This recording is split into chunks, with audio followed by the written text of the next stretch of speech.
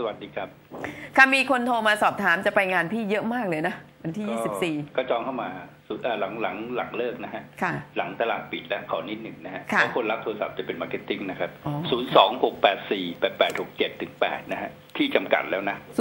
02684 ค่ะแปดแปดหกเจ็ดถึงแปด8867 นะคะ คุณผู้ฟังอ่าถึงแปดเนี่ยก็นี่คือคือที่สำรองเพราะว่าพี่นิพนธ์เขาจะมีกาแฟให้จะได้สำรองก็จำนวนจะพเตรีอยมดีตำราให้ฮะอ่าแล้วก็คือตำราชีทก็จะชีทชีทด้วย เราก็จะเตรียมค่ะให้ทุกคนนะฮะอ่าต้องจองแล้วเราจะนะจัดไปพอดีเป๊ะสำหรับคนค่ะที่จองค่ะค่ะนะครับถ้าไม่จองก็จะไม่มีให้นะฮะค่ะค่ะตรงนี้เราจะได้วางแผนกันถูกด้วยนะคะ คุณครับฟรีนะคะตรงนี้ที่หอประชุม TOT กับพี่นิพนธ์นะคะโทรไปจองกันได้นะคะครับค่ะ วันนี้ตลาดขึ้นมาทำนิวไฮโชว์เดย์เลยนะคะ ก็เป็นเป็นตามสัญญาณทางเทคนิคนะฮะค่ะอันนี้ในสัญญาณทางเทคนิคเนี่ยถ้าเราดูโดยโดยที่ผ่านห้องวันที่ยี่บสี่เนี่ยค่ะเราก็จะดูเหมือนผมเนี่ยค่ะ จริง ๆ ผมเชื่อว่าทุกคนเนี่ยเออมอนวันนี้มี marketing นะที่ค่ะอื่นก็โทรมาหาเราด้วยค่ะค่ะโทรดีมาดีมากเลยพี่พูดถึงว่าขอบคุณอะไรเงี้ยนะค่ะคราวนี้เราเราเวลาเราเราเนี่ย เราคิดว่าคนทุกคนเนี่ย อย่างเอาเรื่องง่าย ๆ นะครับว่า วันเนี้ยหุ้นธนาคารพาณิชย์ขึ้นใช่ไหมค่ะทุกคนก็บอกเอ้ยมันขึ้น ทุกคนก็ดีใจใช่ไหมส่วนหุ้นหุ้นกลุ่มพลังงานกับกับเอ่อ กับกลุ่มเป็นโตรเคมีมันลงใช่ไหมค่ะค่ะทุกคนก็ก็เครียดทำไมกลุ่มพลังงานมันลงใช่ไหมค่ะเราย้อนไปเจ็ดวันเด็ค่ะเจ็ดวันเนี่ยหุ้นกลุ่มพลังงานขึ้นหุ้นกลุ่มธนาคารพาณิชย์ลงค่ะนะครับ เพราะฉะนั้นเนี่ย จริง ๆ แล้วเนี่ยเราเราเอาเราเอาจิตของเราเนี่ย ไปติดอยู่กับผลประโยชน์คือการขึ้นลงของตลาดหุ้นนะฮะคือเราไม่ปลดมันออก มันจะมีหุ้นกลุ่มเดียวนะครับ คือ ICT ที่มันขึ้นตลอดนะฮะ ซึ่งซึ่งก็ต้องไปถามไปถามคนอื่นให้อธิบายว่าทำไมนะฮะจริงๆผมก็อธิบายได้เหมือนกันนะนะค่ะว่าทำไมหุ้น ICT เนี่ยมันขึ้นนะฮะอ่าแต่ขี้เกียจอธิบายนะฮะเอ้าคราวนี้ช่วยคราวนี้หน่อยมาถึงวันเนี้ยนะค่ะฮะค่ะในในในเราบอกว่าเฮ้หุ้นน่ะมันขึ้นมา แต่หลาย ๆ คนนะฮะก็ยังมองหุ้นลงมาถึงวันนี้ก็บอก เอ๊ะ มันจบแล้วหนึ่งหนึ่งเจ็ดสี่ใช่ไหมค่ะค่ะมันไม่จบหรอกค่ะ คือมันจบอะมันจะบอกแต่ตอนนี้มันยังไม่ได้บอกว่ามันจะจบนะครับค่ะมันยังไม่จบหรอกมันยังขึ้นต่อนะครับ ถ้าค่ะท่าแบบนี้ก็เหมือนเหมือนที่คุณวชิรเมธบอกใช่ไหมค่ะเออมันต้องขึ้นต่อนะฮะท่านี้พวกนี้มันก็ต้องขึ้นต่อนะฮะค่ะคราวนี้มันขึ้นต่อมันจะไปถึงไหนนะฮะมันก็ไปถึงที่มันจะถึงนะครับ ก็คงคงที่เราเคยคุยกันไว้ในในห้องวันที่ยี่แปดมกราเนี่ยก็คือพันสองนะฮะค่ะผมบวกให้อีกแปดแปดจุดจุด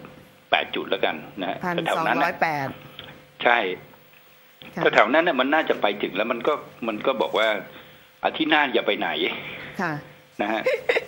มาฉลองกันหุ้น ไม่ใช่ฉลองเดี๋ยวมันไม่ได้ขายไงอ๋อคือเดี๋หุ้ยนวไม่มันอาจได้จะมีขายสัญญาณกลับตัวก็ได้ค่ะค่ะคือคือขึ้นเนี้ยในในแง่ของของของทฤษฎีเดดเวฟเนี่ยนะฮะค่ะมันจะเป็น V shape นะค่ะเพราะเราเรายังไม่ได้บอกว่ามันจะลงนะฮะมันค่ะขึ้นไปเนี่ยถ้าถ้ามันมันจะขึ้นเร็วมากนะฮะ ถามว่าทำไมเราดูว่ามันขึ้นเร็ว เราถ้าเราดูจริงๆขนาดเนี้ยราคาน้ำมันเนี่ยมันย่ออยู่นานละมันเตรียมที่จะขึ้นละนะฮะเพราะฉะนั้นไอ้หุ้นหุ้นน้ำมันเนี่ยมันลงมาตามนะครับค่ะมันมันมันย่อตามราคาน้ำมันลงมานะฮะค่ะแล้วก็ถ้าถ้ากลุ่มเอ่อน้ำมันกับกับเอ่อเปโตรเคมีเนี่ยมันวิ่งขึ้นไปได้นะฮะจริง ๆ ขึ้นมาเหลืออีกขึ้นหนึ่งเหมือนกันมันยังไม่จบหรอกนะฮะวิ่งขึ้นไปพร้อม ๆ กับกับเอ่อในกลุ่มของ ธนาคารพาณิชย์นะธนาคารพาณิชย์ก็อาจจะยืนอยู่ใช่ไหมครับค่ะยืนไอไอไอซีทีขึ้นต่ออีกแล้วนะฮะค่ะพวกส่วน advance ตัวเล็กตัวน้อยเลยที่ที่เนี่ยมันก็จะมากันละค่ะท่าเนี้มันจะเป็นท่าเหมือนว่าท่าใกล้จบอะนะฮะค่ะของตลาดหุ้นนะครับค่ะแต่จริง ๆ เราดูตามมันไปเราอย่าไปคาดมันมากนะฮะค่ะเพราะฉะนั้นถ้าถ้ากลุ่มพลังงานมันวิ่งขึ้นได้แรงๆเนี่ยอืมหุ้นมันก็จะวิ่งขึ้นไปไปจบนะฮะเราเราสัญญากันนิดนึงว่าเราเรามากันตั้งแต่แปดร้อยสี่สามเนี่ยนะค่ะแล้วก็ถ้าเราเราเราจะขายกันสักทีนี้ไหมพันสองเนี่ยอืม ค่ะพันคืสอองคือเราต้องหัดขายหุ้นนะค่ะเออหัดขายบ้างนะฮะคือขายจริงๆหุ้นพอมันผ่านพันมาแล้วเนี่ยหุ้นค่ะตัวไหนอะแทงไปมันถูกหมดนะนะฮะค่ะมันค่ะจะขึ้นทุกตัวนะฮะคราวนี้ค่ะถ้าเราเล่นหุ้นเนี่ยแล้วเราเราดูปัจจัยพื้นฐานนะครับค่ะแล้วเราก็เล่นหุ้นให้ชำนาญเฉพาะหุ้นที่เราอะเราเราเรารู้เราตามพื้นฐานมันนะค่ะเออนี่เงี้ยค่ะเราก็จะไม่ไม่ไปโดนช็อตหนักๆนะฮะค่ะไปไม่โดนช็อตหนักๆเนี่ยมันก็จะไม่ไม่ไม่เกิดปัญหาเกิดขึ้นกับการลงทุนนะฮะค่ะ ก็จะเป็นเป็นเป็นวิธีการลงทุนที่ที่ปลอดภัยนะฮะเราได้ผลตอบแทนค่อนข้างที่จะสูงนะครับ แต่แต่ทำไมคนส่วนใหญ่เนี่ยทำไมเขาบอกว่าในสถิตินะคนลงทุนส่วนใหญ่เนี่ยสิบคนเนี่ย ขาดทุนไปแปดค่ะอีกหนึ่งกำลังจะขาดทุนอ่าแล้วก็แล้วก็แล้วก็คุณกำแล้วก็เอ่อคุณกำไรแค่คนเดียวค่ะเอ่อทั้งทั้งที่ทุกคนก็รู้นะทฤษฎีปัจจัยพื้นฐานเล่นหุ้นแบงก์เทพเล่นเล่นเล่นหุ้นแบงก์กสิกร เล่นหุ้นปค่ะตทค่ะเหมือนกันนะแต่ทำไมขาดทุนนะอ่าค่ะเออเนี่ยมันเป็นมันเป็นนี่ไม่ใช่เฉพาะนักลงทุนนะค่ะเราก็จะเห็นว่าอย่างอย่างม่อนจะสัมผัสนักวิเคราะห์เยอะใช่ไหมค่ะม่อนลองกลับไปไปเช็คดูนะว่า นักวิเคราะห์ที่ที่เอาที่ผ่านม่อนเนี่ยค่ะเขาเริ่มบอกว่าหุ้นขึ้นตอนที่เซ็ตมันขึ้นมาเท่าไหร่ค่ะแต่จริงๆอะเซ็ตมันขึ้นมาตั้งแต่แปดร้อยที่เราคุยกันมาตั้งแล้วหุ้นเป็นแนวโน้มขึ้นนะแนวโน้มขึ้นนะถูกไหมครับอะไรที่มันทำให้เรา เราเป็นแบบเนี้ย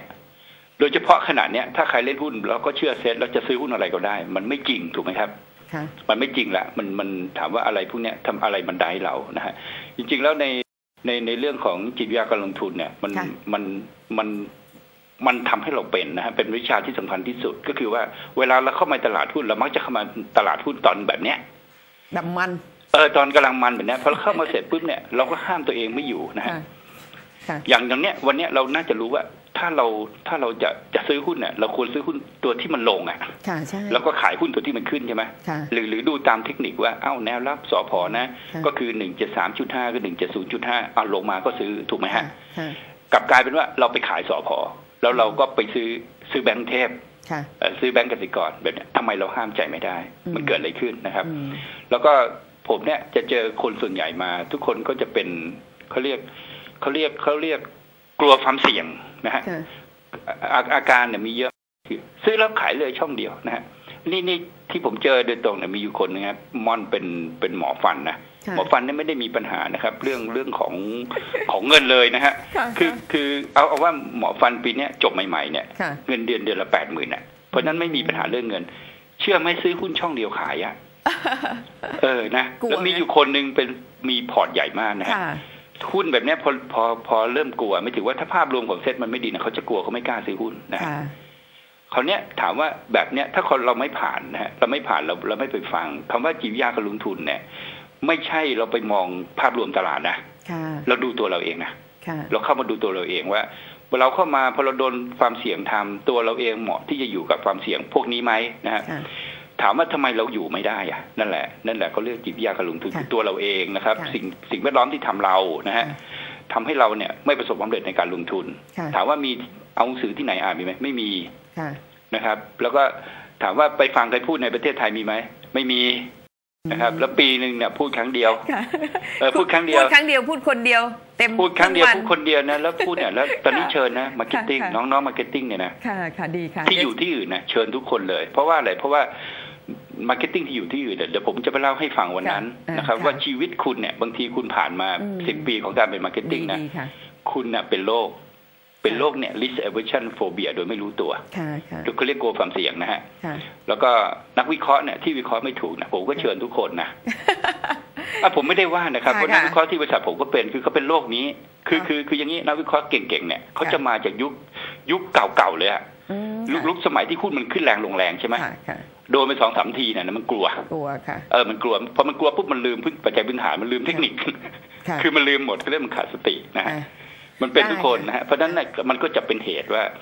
คนไม่ใช่ว่าอยู่ในตลาดนานๆแล้วนะครับ แล้วค่ะจะจะจะควบคุมค่ะผลกำไรจากการลงทุนได้นะอ่าอันเนี้ยได้เป็นวิชาสำคัญค่ะได้ได้ไปฟังพี่นิพนธ์ครึ่งวันวันที่ใช่ยี่สิบสี่มีนาคืออันแล้วก็ค่ะใครมีพี่ปัญหาเนี่ยเดี๋ยวเราจะลิสต์รายชื่อมาเลยนะพี่แล้วก็ถามให้หมอเขารักษาให้เลยพี่พี่ ถามถามปตทตอนนี้ตกนะคะ แล้วก็ปูก็ใหวัญ่นนั้นตเราก ให้ซื้อสามสสามพเก้าแล้วตกเราก็บอกให้ซื้อให้ขายสามสี่เก้าไปก่อนใช่ไหมค่ะ อ่าแล้ววันนี้มันตกมาใช่ไหมว่ารุ่นค่ะ มันไม่มีเราก็ซื้อกลับสิอะซื้อกลับเพนะ ราะว่าปตทเนี่ยอย่างน้อยผมผมผมเรียนนิดนึงค่ะในในในการที่หุ้นจะขึ้นไปพันสองเนี่ยค่ะนะครับ แบงก์เนี่ยมันจะขึ้นไปเป็นท่าจบนะฮะโอ้ส่วนปตทเนี่ยมันไปขึ้นท่าเขย่งเขาเรียกขึ้น B นะฮะค่ะ ขึ้น B ของปตทเนี่ยมันขึ้นไปได้ถึงประมาณสามห้าเจ็ดหรือสามหกสามนะฮะ ค่ะอะซื้ออันนี้นะเราต้องพี่ตามดูนะฮะ ค่แล้ว TOP แล้วพี่ TOP เนี่ยจริงๆอะมันยังลงไม่ถึงที่มันควรจะลงนะฮะอะคืลองต้องตัวลงตัวเขาเขาบอกไอ้ตรง neckline ของ TOP เนี่ยมันอยู่แถวหกสิบห้ามันก็ใกล้แล้วล่ะนะอะฮะอะจากหกสิบห้าเนี่ยมันเขย่งไปเจ็ดสิบเจ็ดได้ค่ะนะครับ15คือคือมันจะต้องลงแล้ววิ่งกลับเร็วๆนะค่ะถ้ามันไม่ใช่ท่านี้นะแสดงว่ามันไม่ใช่แต่ แต่ถ้านับขึ้นในเลเวลนะมันยังไม่ครบนะฮะค่ะค่ะอะชัดอาจารย์คราวนี้มันเกิดอะไรขึ้นมันเกิดง่ายๆนะครับ คือวันเนี้ยวันนี้ก็คือซื้อแบงก์ก่อนค่ะแล้วก็ขายพลังงานออกมานะฮะค่ะส่วนพระเอกเนี่ยก็คือ Advance กับ d t แทซึ่งค่ะซึ่งเราเราเราแนะนำให้สองตัวเนี่ยค่ะให้เล่นรอบรอบยาวนะฮะค่ะค่ะถือไปส่วนก่อน future นิดหนึ่งค่ะเชิญค่ะ future ก็คือว่าให้ให้เปลี่ยนมาเป็นตัว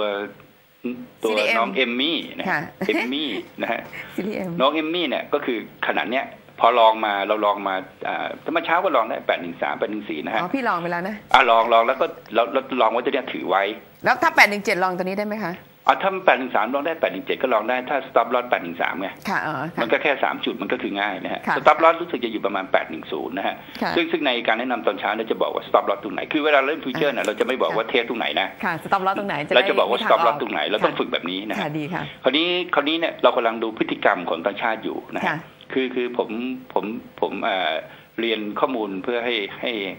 สอดคล้องกับคุณวชิรเมธนิดหนึ่งนะฮะค่ะแต่อาจจะตรงข้ามกัน คือค่ะต่างชาติเนี่ย long มานะครับ series H มาเนี่ยหมื่นแปดพันสัญญาค่ะหมื่นแปดตอนเนี้ยเขาถืออยู่ประมาณหมื่นสามนะครับ เพราะฉะนั้นเนี่ยขณะที่ที่เขาซื้อหุ้นอยู่เนี่ยเขาเขาเขา short future ปิดอยู่นะฮะ Yes เพราะว่ามันใกล้ปิดสัญญานะครับค่ะส่วนหนึ่งเนี่ยเรากำลังดูว่าเขาจะ roll มา series M ไหมค่ะถ้า roll มา series M มันจะมี volume นะครับค่ะมันอาจจะเกิดขึ้นในสัปดาห์นี้สัปดาห์หน้า คราวนี้ คราวนี้เขาปิดไม่หมดหรอก ถ้าเขามองหุ้นขึ้นเนี่ยเขาจะปิดไม่หมด ผมคิดว่าเขาเขายังไม่ปิดหมด เพราะว่าเป้าหมายของ SET Index ของเขานะในระยะอีกสามสี่เดือนข้างหน้าเนี่ยมันไม่ใช่ตรงนี้นะฮะมันมันสูงกว่าพันสองอีกนะฮะค่ะแต่ตัวพันสองเนี่ยมันเป็นจุดสำคัญที่เซ็ตมันอาจจะลงได้สักสักผมว่าสักห้าสิเอาบจุดแปดเก้าสิบจุดนะค่ะค่ะปรับฐานหน่อยเออปรับฐานหน่อยเลยทำนองเนี้ยก็ไม่ไม่ได้น่ากลัวอะไรคราวนี้ถ้าถ้าเราเราคิดว่ามันสำคัญกับเรานะฮะค่ะร้อยจุดเนี่ยสำคัญกับชีวิตเราเนี่ยเราก็ต้องขายไปก่อนถูกไหมครับค่ะ ขายไปก่อนมันก็มันก็จะไม่ได้มีปัญหาอะไรกับเรานะฮะค่ะได้ทีนี้เนี่ยเราก็ต้องดูตามเขาดูอีกสองสัปดาห์นะฮะค่ะในขณะที่เราตามดูเราก็ถือไปด้วย แต่ถ้าถามว่าในในเชิงเทคนิคเนี่ยนะฮะค่ะในราคาข้างบนของมันเนี่ยถ้าจะปิดฟิวเจอร์เนี่ยค่ะมันมันสูงกว่าไอ้ตัวตัวตัว M นะค่ะตัว M นะครับหมายถึงว่าเป็นไปตามธรรมชาติและ SET Index เนี่ยค่ะควรจะขึ้นไป ผมคิดว่าขึ้นไปเพื่อจบนะค่ะขึ้นไปเพื่อจบไม่ใช่ขึ้นไปเพื่อขึ้นต่อนะค่ะ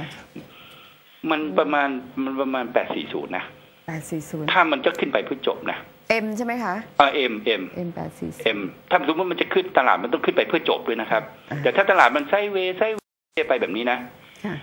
มันไม่ใช่แปดสี่ศูนย์นะค่ะมันอาจจะย่อลงมาแล้วเดี๋ยวก็งองแงงงองแงงขึ้นไปมันจะค่ะเป็นเก้าร้อยเลยเลยก็ได้นะโอ้โหคือคือเราต้องดูท่าของมันค่ะเพราะฉะนั้นเราดูเนี่ยเราดูทุกอย่างปัจจุบันที่ค่ะความเป็นจริงเนี่ยนะครับ คือหุ้นเนี่ยผมผมผมพูดอีกนิดนึงนะครับ ค่ะเพื่อจะได้มั่นใจว่าถ้ามันจะไปอะพันสามที่เขาพูดกันนะครับ ค่ะตอนจบก่อนลงตอนเนี้ยสมมติว่าจะลงร้อยจุดเนี่ยวอลลุ่มเนี่ยนะครับต้องมากกว่าสี่หมื่นห้าค่ะสี่หมื่นห้าเราเราสังเกตเลยนะฮะสมมติว่าตอนนี้ถ้ามันลงไปนะค่ะมันกลายว่าตรงนี้มันจบเลยนะค่ะเป็นสูงสุดของรอบที่ขึ้นมาแล้วนะอืมแล้วแล้วปีนี้เราอาจจะไม่เห็นอีกแล้วนะ ค่ะ แต่ถ้าแต่ถ้ามันขึ้นไปสมมติว่าแถวแถวนี้หรือตรงไหนก็ได้พันหนึ่งหนึ่งเก้าศูนย์พันสองพันสองยี่สิบเนี่ย ขอวอลลุ่มมากกว่าสี่หมื่นห้าค่ะถ้าวอลลุ่มมากกว่าสี่หมื่นห้านะคำตอบของมันก็คือสองว่าพันปีเนี้ยมันยังไปสูงกว่านั้นอีกโอ้โหอันนี้นี่คือทางเทคนิคจะบอกแบบนี้นะครับค่ะค่ะดีค่ะพี่เดี๋ยวถ้าฟังพี่นิพนธ์พูดไม่ทันนะคะ คุณผู้ฟังคุณผู้ชมไปฟังย้อนหลังได้แต่ละเม็ดอ่าแต่ละผมสเด็ดรุปว่าตลาดให้ค่ะเราตามดูมันค่ะมันตามยังไม่ได้บอกว่ามันจะลงค่ะมันไม่ได้บอกไปค่ะขึ้นถึงไหน แต่มันค่ะควรจะขึ้นไปพันสองแล้วจบปรับฐานนะครับค่ะปรับฐานเสร็จแล้วขึ้นไปทำนิวไฮใหม่อะนะครับได้พี่แต่เงื่อนไขนี้ก็คือตรงพันสองเนี่ยวอลลุ่มต้องมากกว่าสี่หมื่นห้าโอเคไหมโอเคค่ะ พี่ขอบคุณโเนะคะ สวัสดีครับ